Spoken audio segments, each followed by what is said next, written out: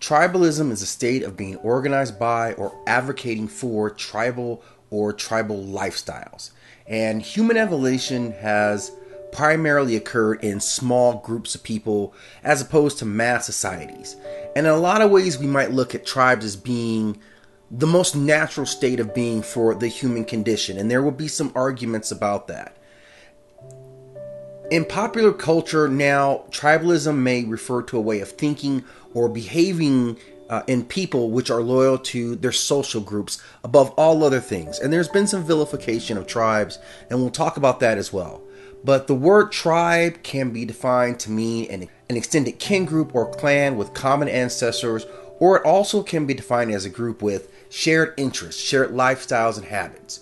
And we see that tendency for humans who are extremely social beings to want to stick together with beings who think just like them, with other humans who think just like them. That's very normal. Tribalism, in its purest form, was a gift that evolution gave early man to ensure the survival of humans on the planet. And a lot of our, our very most instinctual behaviors are rooted to our survival or the survival of humans overall. Th- this is what drives nature. This is why nature gives us these gifts. And this was extremely important not only for socialization, but also for protection. We needed each other. And this is what, what this is what socialization, this is what tribalism ultimately is all about. And we know from from multiple studies that humans have a preference for genetic proximity. So we like to be close to people who look like ourselves and think like ourselves.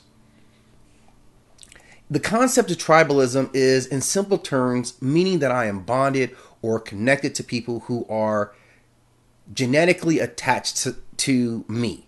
And that's how we'll define our early interpretations of tribalisms, although we have to recognize that there are other forms of human bonds that are have nothing to do with blood or genetics that are just as strong. But in this instance, we're going to look at the purity of tribalisms as we first experienced it. And what it did is it made me look at my brother's kids and say, okay, I'm, I like them. I'm going to protect them. The emotional connection that I had to my brother, I pass along to his children, and it goes further and further out. And as we go past probably six cousins, those those bonds start to weaken to the point that that may not necessarily be contribute considered a part of my personal tribe, but we all understand how that mechanism works.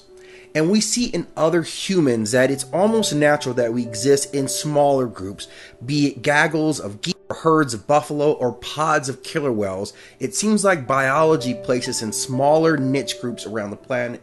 And most of our mythology is ultimately born from smaller tribes that spread out. Unfortunately, the concept of tribes is that they're ultimately taken over by larger civilizations, and ultimately, as we see, the nation state that exists now. And while there are still very well defined tribes on the planet, their sovereignty is constantly being tested by what we would call modern civilization, particularly the nation state.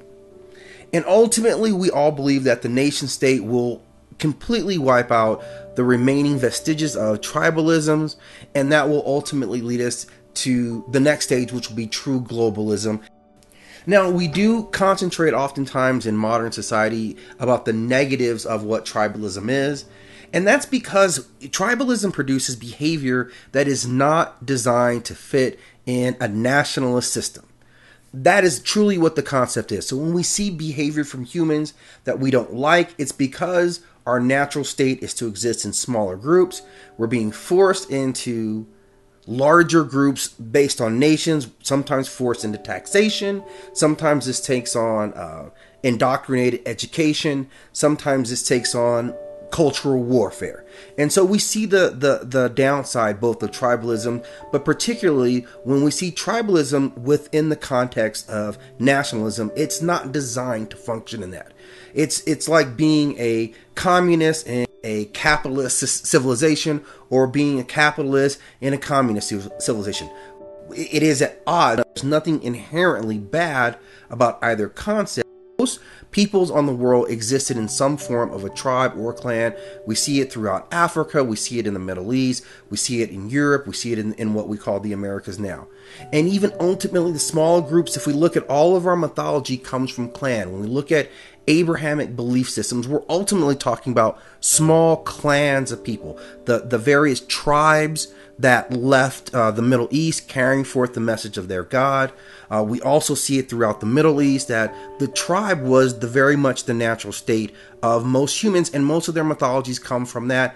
We can see it throughout throughout most most parts of the world. And we do understand that the beginning of some of the greatest empires in the world were ultimately tribes that grew. The Roman Empire started from a tribe that grew in size and began through mechanisms of war and the spread of their culture to dominate and ultimately consume other cultures that were around them.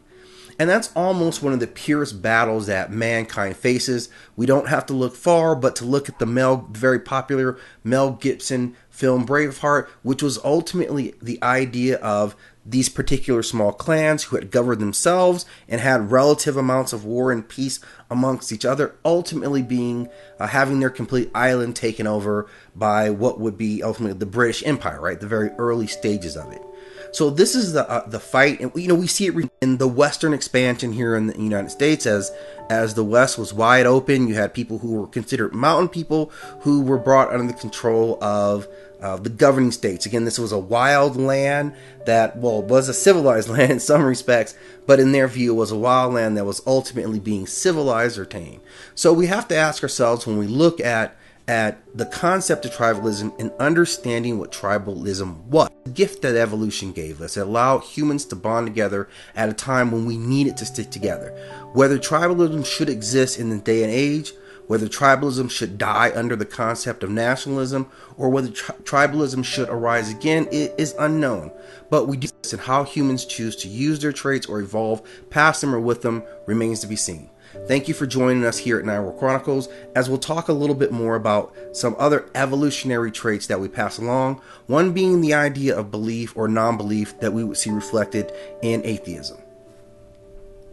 Thank you again. You can stop by our website, nineworldchronicles.com, for more information about the topics that we discuss.